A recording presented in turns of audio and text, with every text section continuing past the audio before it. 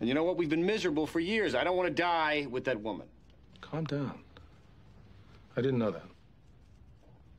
This is the life I was always meant to have.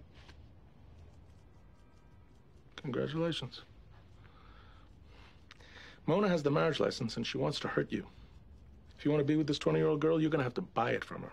And I have to warn you women in this situation become extra irrational. Well, how badly does she want to hurt me? I have a list of conditions on an alimony that could support Rita Hayworth.